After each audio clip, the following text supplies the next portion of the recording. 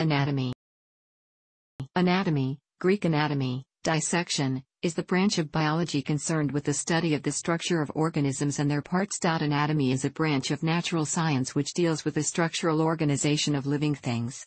It is an old science, having its beginnings in prehistoric times. Anatomy is inherently tied to developmental biology, embryology, comparative anatomy, evolutionary biology, and phylogeny, as these are the processes by which anatomy is generated over immediate, embryology, and long, evolution, timescales.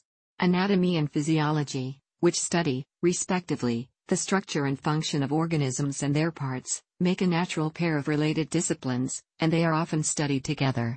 Human anatomy is one of the essential basic sciences that are applied in medicine. The discipline of anatomy is divided into macroscopic and microscopic anatomy. Macroscopic anatomy, or gross anatomy, is the examination of an animal's body parts using unaided eyesight. Gross anatomy also includes the branch of superficial anatomy. Microscopic anatomy involves the use of optical instruments in the study of the tissues of various structures, known as histology, and also in the study of cells. The history of anatomy is characterized by a progressive understanding of the functions of the organs and structures of the human body. Methods have also improved dramatically, advancing from the examination of animals by dissection of carcasses and cadavers, corpses, to 20th century medical imaging techniques including X-ray, ultrasound, and magnetic resonance imaging. Derived from the Greek anatomy dissection, from anatom noa cut up, cut open from nu ana up, and tau mu nuo megatom noa cut, Anatomy is the scientific study of the structure of organisms including their systems, organs and tissues. It includes the appearance and position of the various parts, the materials from which they are composed, their locations and their relationships with other parts. Anatomy is quite distinct from physiology and biochemistry, which deal respectively with the functions of those parts and the chemical processes involved. For example, an anatomist is concerned with the shape, size, position, structure, blood supply and innervation of an organ such as the liver, while a physiologist is interested in the production of bile, the role of the liver in nutrition and the regulation of bodily functions. The discipline of anatomy can be subdivided into a number of branches including gross or macroscopic anatomy and microscopic anatomy. Gross anatomy is the study of structures large enough to be seen with the naked eye, and also includes superficial anatomy or surface anatomy, the study by sight of the external body features. Microscopic anatomy is the study of structures on a microscopic scale, along with histology, the study of tissues, and embryology, the study of an organism in its immature condition. Anatomy can be studied using both invasive and non-invasive methods with the goal of obtaining information about the structure and organization of organs and systems. Methods used include dissection, in which a body is opened and its organs studied, and endoscopy, in which a video camera-equipped instrument is inserted through a small incision in the body wall and used to explore the internal organs and other structures. Angiography using X-rays or magnetic resonance angiography are methods to visualize blood vessels. The term anatomy is commonly taken to refer to human anatomy. However, substantially the same structures and tissues are found throughout the rest of the animal kingdom and the term also includes the anatomy of other animals.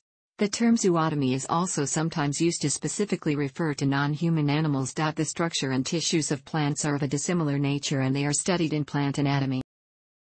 The kingdom Animalia contains multicellular organisms that are heterotrophic and motile, although some have secondarily adopted a sessile lifestyle. Most animals have bodies differentiated into separate tissues and these animals are also known as eumetazoans. They have an internal digestive chamber, with one or two openings, the gametes are produced in multicellular sex organs, and the zygotes include a blastula stage in their embryonic development. Metazoans do not include the sponges, which have undifferentiated cells. Unlike plant cells, animal cells have neither a cell wall nor chloroplasts. Vacuoles, when present, are more in number and much smaller than those in the plant cell. The body tissues are composed of numerous types of cell, including those found in muscles, nerves and skin. Each typically has a cell membrane formed of phospholipids, cytoplasm and a nucleus. All of the different cells of an animal are derived from the embryonic germ layers. Those simpler invertebrates which are formed from two germ layers off ectoderm and endoderm are called diploblastic and the more developed animals whose structures and organs are formed from three germ layers are called triploblastic. All of the triploblastic animals' tissues and organs are derived from the three germ layers of the embryo, the ectoderm, mesoderm and endoderm. Animal tissues can be grouped into four basic types, connective, epithelial, muscle and nervous tissue. Connective tissues are fibrous and made up of cells scattered among inorganic material called the extracellular matrix. Connective tissue gives shape to organs and holds them in place. The main types are loose connective tissue, adipose tissue, fibrous connective tissue, cartilage and bone. The extracellular matrix contains proteins, the chief and most abundant of which is collagen. Collagen plays a major part in organizing and maintaining tissues. The matrix can be modified to form a skeleton to support or protect the body. An exoskeleton is a thickened, rigid cuticle which is stiffened by mineralization, as in crustaceans or by the cross-linking of its proteins as in insects. An endoskeleton is internal and present in all developed animals, as well as in many of those less developed. Epithelial tissue is composed of closely packed cells, bound to each other by cell adhesion molecules, with little intercellular space. Epithelial cells can be squamous, flat, cuboidal or columnar and rest on a basal lamina, the upper layer of the basement membrane. The lower layer is the reticular lamina lying next to the connective tissue in the extracellular matrix secreted by the epithelial cells. There are many different types of epithelium, modified to suit a particular function. In the respiratory tract there is a type of ciliated epithelial lining, in the small intestine there are microvilli on the epithelial lining and in the large intestine there are intestinal villi. Skin consists of an outer layer of keratinized stratified squamous epithelium that covers the exterior of the vertebrate body. Keratinocytes make up to 95% of the cells in the skin. The epithelial cells on the external surface of the body typically secrete an extracellular matrix in the form of a cuticle. In simple animals this may just be a coat of glycoproteins. In more advanced animals, many glands are formed off epithelial cells. Muscle cells, myocytes, form the active contractile tissue of the body. Muscle tissue functions to produce force and cause motion, either locomotion or movement within internal organs. Muscle is formed of contractile filaments and is separated into three main types smooth muscle, Skeletal muscle and cardiac muscle. Smooth muscle has no striations when examined microscopically. It contracts slowly but maintains contractibility over a wide range of stretch lengths. It is found in such organs as sea anemone tentacles and the body wall of sea cucumbers. Skeletal muscle contracts rapidly but has a limited range of extension. It is found in the movement of appendages and jaws. Obliquely striated muscle is intermediate between the other two. The filaments are staggered and this is the type of muscle found in earthworms that can extend slowly or make rapid contractions. In higher animals striated muscles occur in bundles attached to bone to provide movement and are often arranged in antagonistic sets. Smooth muscle is found in the walls of the uterus, bladder, intestines, stomach, esophagus, respiratory airways, and blood vessels. Cardiac muscle is found only in the heart, allowing it to contract and pump blood round the body. Nervous tissue is composed of many nerve cells known as neurons which transmit information. In some slow-moving radially symmetrical marine animals such as ctenophores and cnidarians, including sea anemones and jellyfish, the nerves form a nerve net, but in most animals they are organized longitudinally into bundles. In simple animals, receptor neurons in the body wall cause a local reaction to a stimulus. In more complex animals, specialized receptor cells such as chemoreceptors and photoreceptors are found in groups and send messages along neural networks to other parts of the organism. Neurons can be connected together in ganglia. In higher animals, specialized receptors are the basis of sense organs and there is a central nervous system, brain and spinal cord, and a peripheral nervous system. The latter consists of sensory nerves that transmit information from sense organs and motor nerves that influence target organs. The peripheral nervous system is divided into the somatic nervous system which conveys sensation and controls voluntary muscle, and the autonomic nervous system which involuntarily controls smooth muscle, certain glands and internal organs, including the stomach. All vertebrates have a similar basic body plan and at some point in their lives, mostly in the embryonic stage, share the major chordate characteristics, a stiffening rod, the notochord, a dorsal hollow tube of nervous material, the neural tube, pharyngeal arches, and a tail posterior to the anus.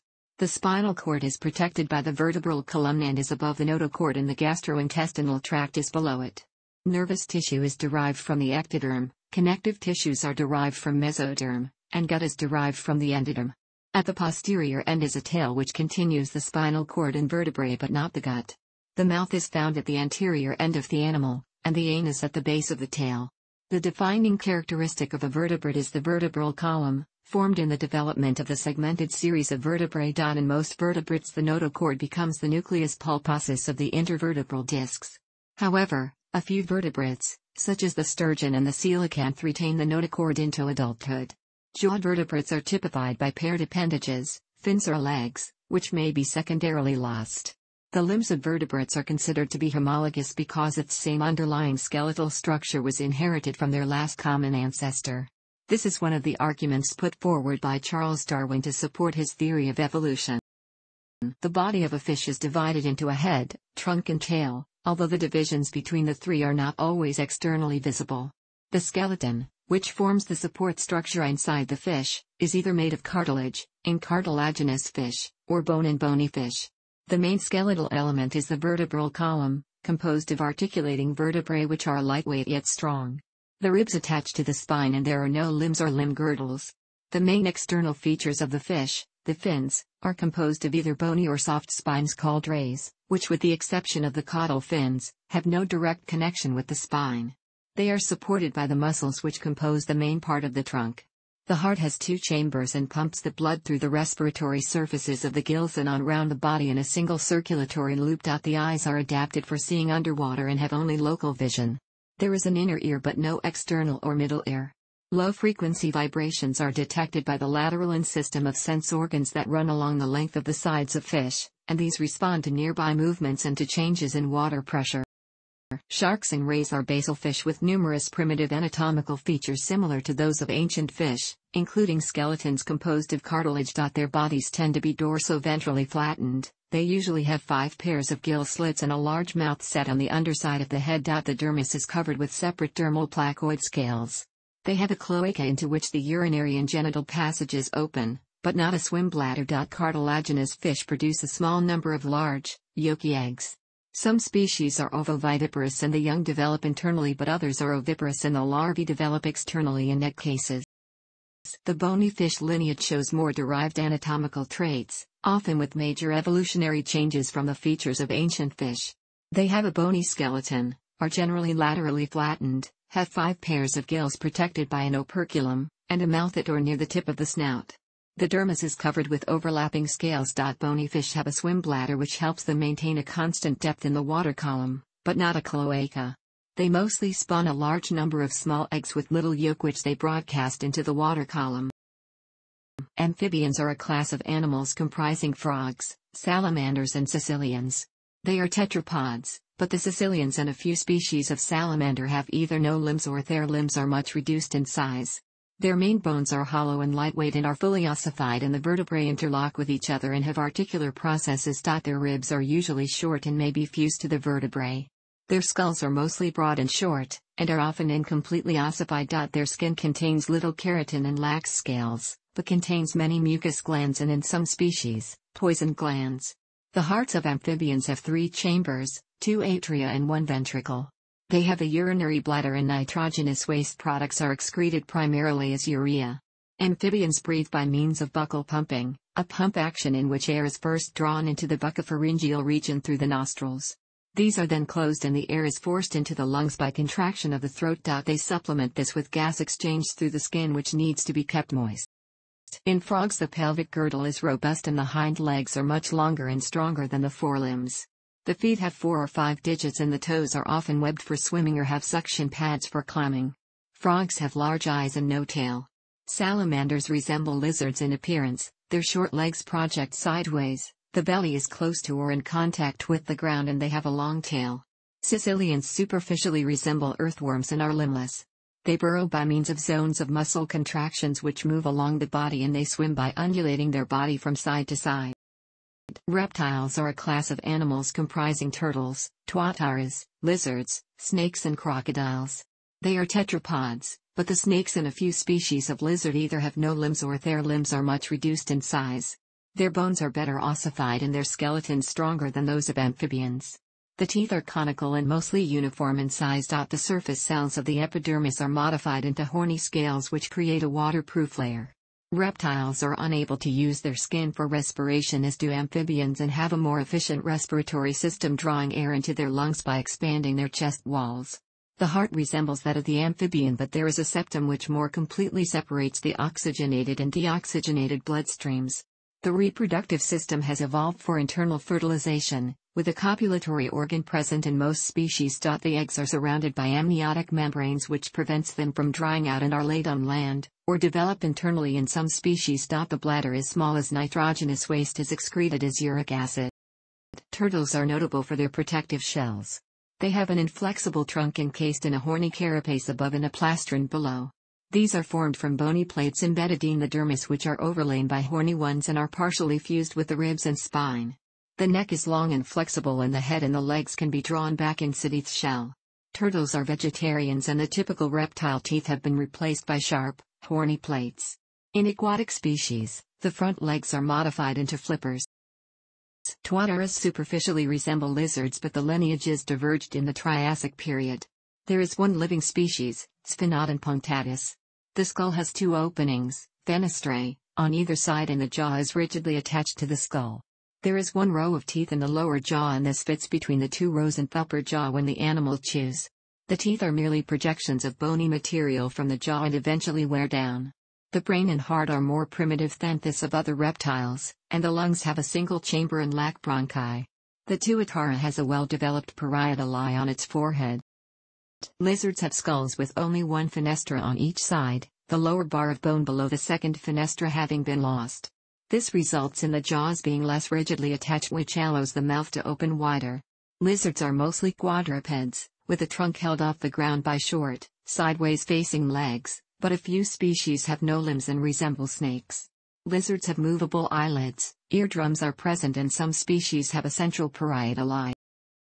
Snakes are closely related to lizards, having branched off from a common ancestral lineage during the Cretaceous period, and they share many of the same features. The skeleton consists of a skull, a hyoid bone, spine and ribs though a few species retain a vestige of the pelvis and rear limbs in the form of pelvic spurs. The bar under the second fenestra has also been lost and the jaws have extreme flexibility allowing the snake to swallow its prey whole. Snakes lack movable eyelids, the eyes being covered by transparent spectacle scales.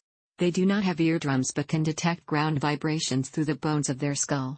Their forked tongues are used as organs of taste and smell and some species have sensory pits on their heads enabling them to locate warm-blooded prey. Crocodilians are large, low-slung aquatic reptiles with long snouts and large numbers of teeth. The head and trunk are dorso-ventrally flattened and the tail is laterally compressed. It undulates from side to side to force the animal through the water when swimming.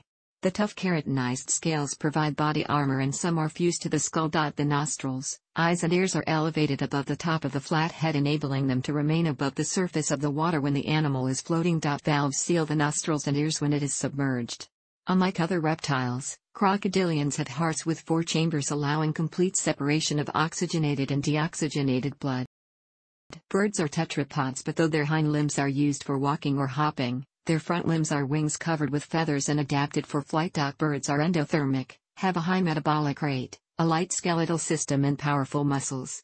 The long bones are thin, hollow and very light. Air sac extensions from the lungs occupy the center of some bones.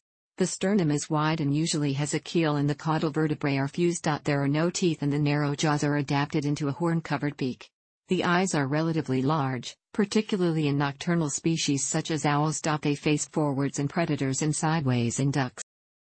The feathers are outgrowths of the epidermis and are found in localized bands from where they fan out over the skin.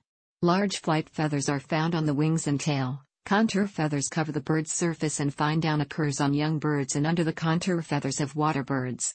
The only cutaneous gland is the single uropygial gland near the base of the tail. This produces an oily secretion that waterproofs the feathers when the bird preens. There are scales on the legs, feet and claws on the tips of thados.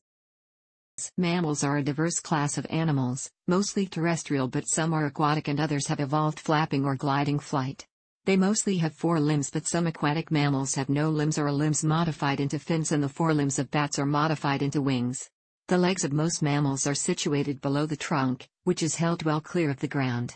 The bones of mammals are well ossified and their teeth, which are usually differentiated, are coated in a layer of prismatic enamel. The teeth are shed once, milk teeth, during the animal's lifetime or not at all, as is the case in cetaceans. Mammals have three bones in the middle ear and a cochlea in the inner ear. They are clothed in hair and their skin contains glands which secrete sweat. Some of these glands are specialized as mammary glands, producing milk to feed the young. Mammals breathe with lungs and have a muscular diaphragm separating the thorax from the abdomen which helps them draw air into the lungs. The mammalian heart has four chambers and oxygenated and deoxygenated blood are kept entirely separate. Nitrogenous waste is excreted primarily as urea. Mammals are amniotes, and most are viviparous, giving birth to live young. The exception to this are the egg-laying monotremes, the platypus and the echidnas of Australia. Most other mammals have a placenta through which the developing fetus obtains nourishment, but in marsupials, the fetal stage is very short and the immature young is born and finds its way to its mother's pouch where it latches onto a nipple and completes its development. Humans have the overall body plan of a mammal. Humans have a head, neck, trunk, which includes the thorax and abdomen, two arms and hands, and two legs and feet. Generally, students of certain biological sciences, paramedics, prosthetists and orthotists, physiotherapists, occupational therapists, nurses, podiatrists, and medical students learn gross anatomy and microscopic anatomy from anatomical models, skeletons, textbooks, diagrams, photographs, lectures and tutorials, and in addition, medical students generally also learn gross anatomy through practical experience of dissection and inspection of cadavers. The study of microscopic anatomy, or histology, can be aided by practical experience examining histological preparations, or slides, under a microscope. Human anatomy, physiology and biochemistry are complementary basic medical sciences, which are generally taught to medical students in their first year at medical school. Human anatomy can be taught regionally or systemically, that is, respectively, studying anatomy by bodily regions such as the head and chest, or studying by specific systems, such as the nervous or respiratory systems. The major anatomy textbook, Gray's Anatomy, has been reorganized from a systems format to a regional format, in line with modern teaching methods. A thorough working knowledge of anatomy is required by physicians, especially surgeons and doctors working in some diagnostic specialties, such as histopathology and radiology. Academic anatomists are usually employed by universities, medical schools, or teaching hospitals. They are often involved in teaching anatomy and research into certain systems, organs, tissues, or cells. Invertebrates constitute a vast array of living organisms ranging from the simplest unicellular eukaryotes such as paramecium to such complex multicellular animals as the octopus, lobster and dragonfly.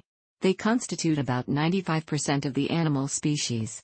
By definition, None of these creatures has a backbone. The cells of single-cell protozoans have the same basic structure as those of multicellular animals but some parts are specialized into the equivalent of tissues and organs. Locomotion is often provided by cilia or flagella or may proceed via the advance of pseudopodia. Food may be gathered by phagocytosis, energy needs may be supplied by photosynthesis and the cell may be supported by an endoskeleton or an exoskeleton. Some protozoans can form multicellular colonies. Metazoans are multicellular organism, different groups of cells of which have separate functions. The most basic types of metazoan tissues are epithelium and connective tissue, both of which are present in nearly all invertebrates. The outer surface of the epidermis is normally formed of epithelial cells and secretes an extracellular matrix which provide a support to the organism. An endoskeleton derived from the mesoderm is present in echinoderms, sponges and some cephalopods. Exoskeletons are derived from the epidermis and is composed of chitin in arthropods, insects, spiders, ticks, shrimps, crabs, lobsters. Calcium carbonate constitutes the shells of mollusks, brachiopods and some tube-building polychaete worms and silica forms the exoskeleton of the microscopic diatoms and radiolaria. Other invertebrates may have no rigid structures but the epidermis may secrete a variety of surface coatings such as the pinacoderm of sponges, the gelatinous cuticle of cnidarians, polyps, sea anemones, jellyfish, and the collagenous cuticle of annelids. The outer epithelial layer may include cells of several types including sensory cells, gland cells and stinging cells. There may also be protrusions such as microvilli, cilia, bristles, spines and tubercles. Marcello Malpighi, the father of microscopical anatomy, discovered that plants had tubules similar to those he saw in insects like the silkworm. He observed that when a ring-like portion of bark was removed on a trunk a swelling occurred in the tissues above the ring, and he unmistakably interpreted this as growth stimulus had be food coming down from the leaves, and being captured above the ring. Arthropods comprise the largest phylum in the animal kingdom with over a million known invertebrate species. Insects possess segmented bodies supported by a hard-jointed outer covering, the exoskeleton, made mostly of chitin. The segments of the body are organized into three distinct parts, a head, a thorax and an abdomen. The head typically bears a pair of sensory antennae, a pair of compound eyes, one to three simple eyes, ocelli, and three sets of modified appendages that form the mouth parts.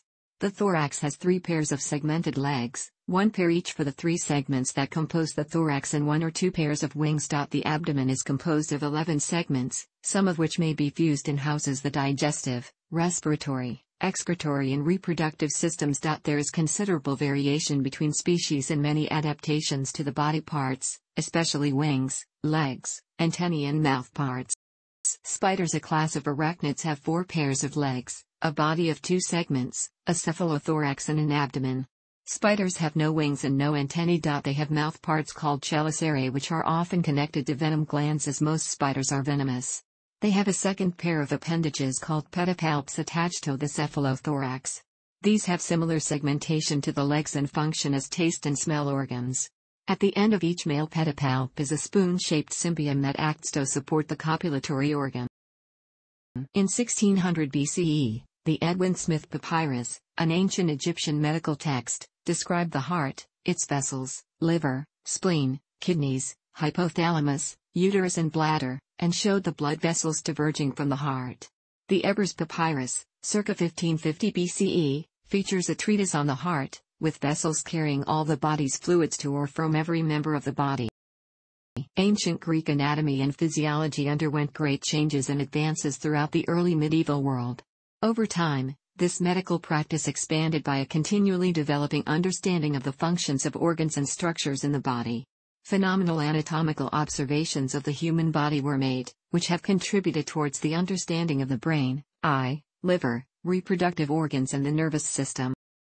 The Hellenistic Egyptian city of Alexandria was the stepping stone for Greek anatomy and physiology.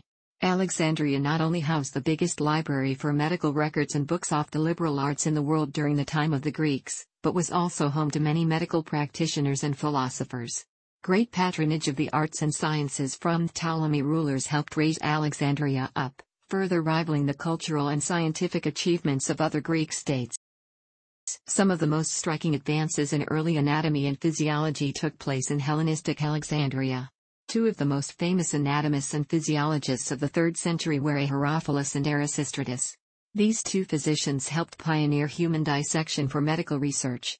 They also conducted vivisections on the cadavers of condemned criminals, which was considered taboo until the Renaissance. Herophilus was recognized as the first person to perform systematic dissections. Herophilus became known for his anatomical works, making impressive contributions to many branches of anatomy and many other aspects of medicine. Some of the works included classifying the system of the pulse, the discovery that human arteries had thicker walls than veins, and that the atria were parts of the heart. Herophilus's knowledge of the human body has provided vital input towards understanding the brain, eye, liver, reproductive organs and nervous system, and characterizing the course of disease.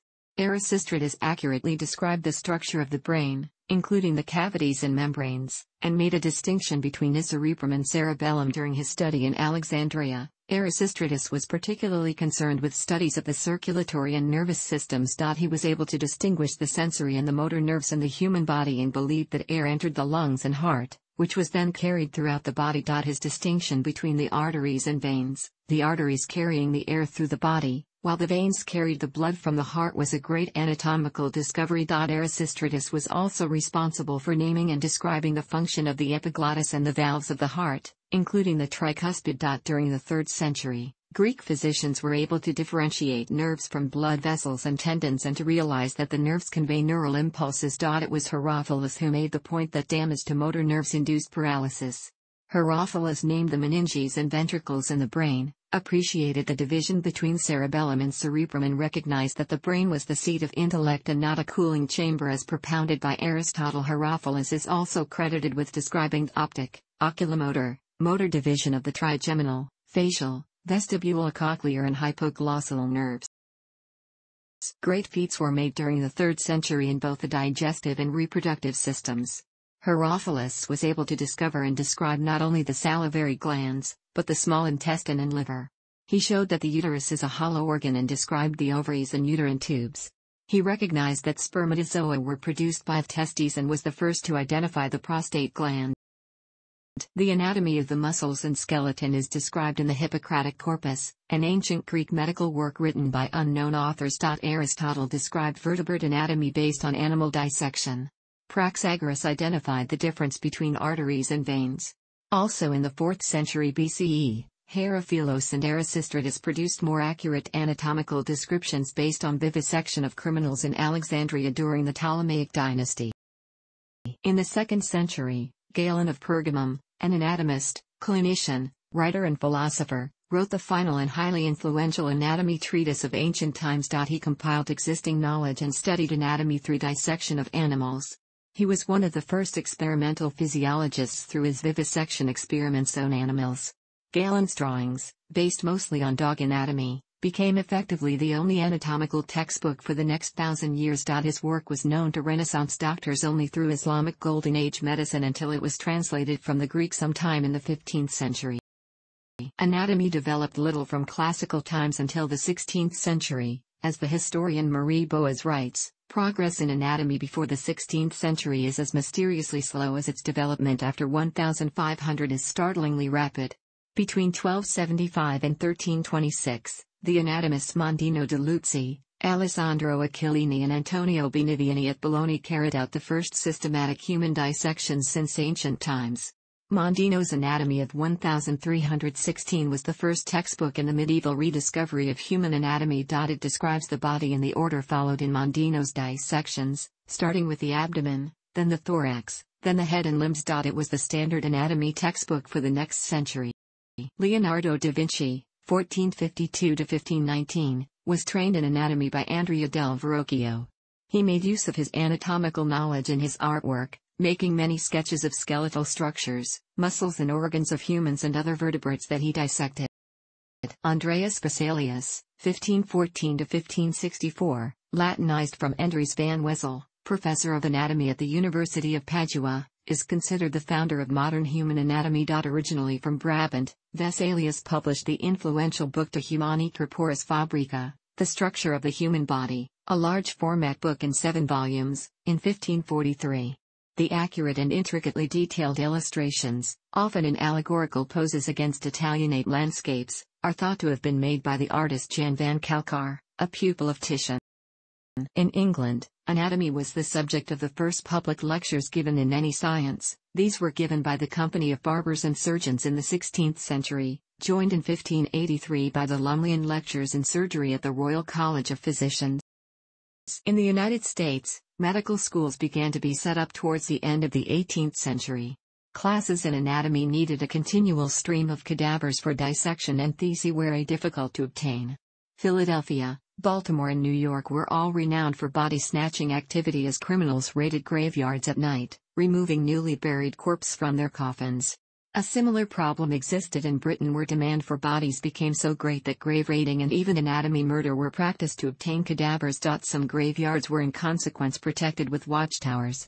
The practice was halted in Britain by the Anatomy Act of 1832, while in the United States, Similar legislation was enacted after the physician William S. Forbes of Jefferson Medical College was found guilty in 1882 of complicity with resurrectionists in the despoliation of graves in Lebanon Cemetery. The teaching of anatomy in Britain was transformed by Sir John Struthers, Regius Professor of Anatomy at the University of Aberdeen from 1863 to 1889. He was responsible for setting up the system of three years of preclinical academic teaching in the sciences underlying medicine, including especially anatomy. This system lasted until the reform of medical training in 1993 and 2003. As well as teaching, he collected many vertebrate skeletons for his Museum of Comparative Anatomy published over 70 research papers, and became famous for his public dissection of the Tay whale. From 1822 the Royal College of Surgeons regulated the teaching of anatomy in medical schools. Medical museums provided examples in comparative anatomy, and were often used in teaching. Ignaz Semmelweis investigated puerperal fever and he discovered how it was caused.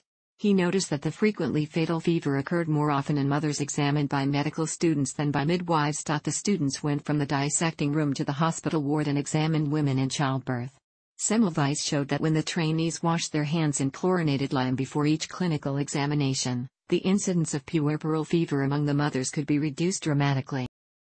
Before the modern medical era, the main means for studying the internal structures of the body were dissection of the dead and inspection, palpation and auscultation of the living. It was the advent of microscopy that opened up an understanding of the building blocks that constituted living tissues.